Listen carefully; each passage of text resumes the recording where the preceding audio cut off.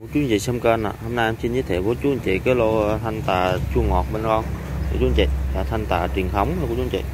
Nó cho chú anh chị chừng ngắm một con. Dạ, chiều cao cây thì tầm cỡ 60. Dạ, cây rất là xung quát của chú anh chị. Dạ, tổng cái là phân tàn phân nhánh liền.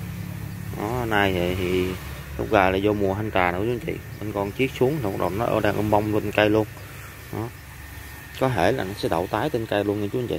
Nó cho chú anh chị chim ngắm cùng con nha là thanh tà chua ngọt. Ứng dụng của thanh tà chua ngọt thì có thể của chú anh chị à, ăn tươi nè. Rồi có thể của chú anh chị là làm à, nước uống thì cực kỳ luôn. Dạ. Nó tái thì nó bự. Nó cực kỳ luôn chú anh chị. Dạ.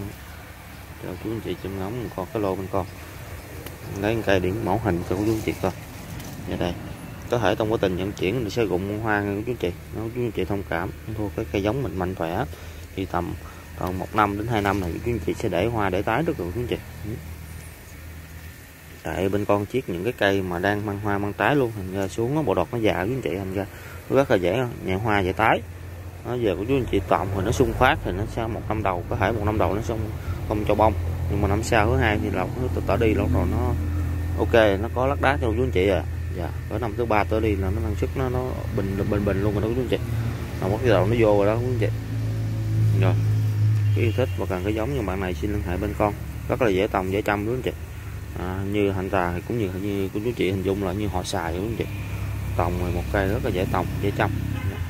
Con chân thành đã cảm ơn của chú chị xem kênh. Con xin kết thúc video đây ạ.